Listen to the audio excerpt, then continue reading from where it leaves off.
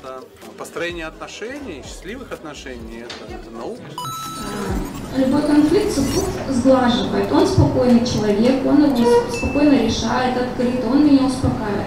В тот момент, когда мне хочется просто кричать, ругаться, выплескивать все свои эмоции открыто, говорить все, что у меня в душе есть. Но а, А он сглаживает. а он все сглаживает, все спокойно И получается, что мы конфликт, конечно, решаем спокойно.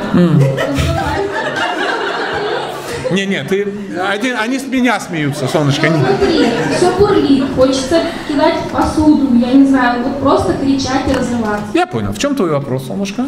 Вопрос, как снимать это напряжение? Подружкам я не выношу ссоры из избы, не могу с ними пойти, вот все ситуации разговаривать, проговаривать. Все-таки хотела бы с мужем. Хотела бы ругаться, кричать, истерить, мне это становится легче потом, так решаю конфликты я. Молодец, да. Ну ты же слушаешь мои лекции? Конечно. Ну ты же знаешь ответ? А, не услышала. Не услышала, потому что так обычно бывает. Просто мы вот когда э, нас что-то не касается, мы легко знаем ответ. А когда касается, а, прямо в таких шорах, таких... Смотри, а, все люди такие, и мужчины, и женщины. У них копятся негативные эмоции, и их надо как-то переживать. Да, причем их надо выплескивать и тому подобное. Но мужчины и женщины делают это по-разному. И вот э, твой благоверный супруг, он пытается тебя успокаивать так, как он себя должен успокаивать. А это не совсем правильно, это не совсем так. Поэтому эмоции отрицательные, их переживать очень необходимо. Если ты их не будешь переживать, ты заболеешь. И ну, в самом слабом месте у тебя где-то треснет. Либо кардиология, либо онкология, либо что-то по-женски, либо как, э, ну, треснет какая-то поджелудочная, либо там кости начнут, либо э, мозгами как бы тронешься. Ну, там есть масса вещей, где у тебя сломается. Я не знаю, что там у тебя самое слабое. Это доктор пускай. Но в этом месте у тебя и сломается. А, Поэтому отрицательные эмоции, их нужно уметь переживать. Нужно уметь переживать. И если бы ты это знала сразу, ты бы эти вопросы, возможно, задала еще до того, как замуж выходила. А если не успела задать, то бы ты сейчас подошла и сказала, дорогой мой муж, ты очень хороший, умный, классный человек. Но мне надо покричать. Так бабы у нас э, избавляются. При этом нужно сказать э, заветные слова. Первому сказать, ты ни в чем не виноват. И не надо ничего делать. Не надо меня успокаивать, не надо бежать решать проблемы. Просто меня послушай 15 минут. Это не тебя совсем касается, это я. Мне надо покричать. А тебе просто надо немножко помучиться, меня послушать, ну раз тут ты на мне женился. Это маленькая жабья шкурка у принцессы лебедя.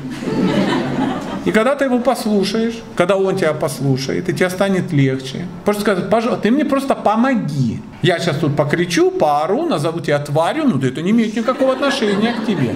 Я разобью тарелки, возможно, об твою голову, но это ничего страшного, это накопилось. Со временем этот напор станет значительно меньше, но я буду здоровый. Если ты будешь меня слушать 10, 15, 20 минут каждый день, я стану счастливой, и ты, поверь, хлебнешь из этого счастья. Если ты меня не будешь слушать, будешь сглаживать или ругать, то меня будет слушать кто-то другой.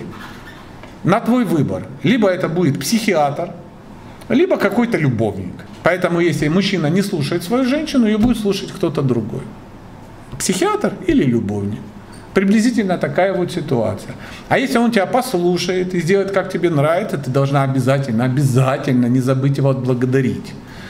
Сказать, ты такой вообще классный, ты меня послушал, прямо вот сидел, мучал, гадости мне не говорил, не успокаивал, не говорил мне, что это все херня, это все мелочи, шанти, шанти, не ори. Вот это все ты не говорил, ты просто потерпел, пока я орала, вулканчик вышел, и вот у меня такое либидо открылось. а. Смотри на мне костюм женщины-кошки. Планирую сексуальные непотребства. И поверь, через какое-то время он прямо муж тебе будет говорить, солнышко, ну, тебе случайно не надо послушать? Может, что-то накопилось? Не нужен ли тебе обаятельный психотерапевт? Элементарные вещи. Но мы, к сожалению, этого не знаем, потому что мы знаем все, что угодно, вплоть как ядро расщеплять, но мы не знаем элементарные вещи. Мы с коллегой планируем сделать бизнес очень серьезный. Скоро будет в продаже. А, Мы сделаем песочные часы. Будем продавать песочные часы на 20 минут. Насыпем песка в них на 20 минут. Хорошие будут. Дорогие, да не могу. С нашим э, лейблом, satya.com.ua, там все дела. И э, часы, чем они будут песочные отличаться? На них вот так будет гравировка написана. Ты часы эти ставишь, и вот то, что к мужу, на них сверху так будет написано. Дорогой, ты ни в чем не виноват. А снизу будет написано. Ничего делать не нужно. А с этой стороны будет написано. Не забудь поблагодарить своего рыцаря. Так, приходишь часами, такой, Павлик,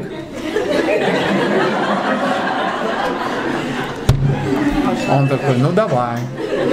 И пошла жара, терапия.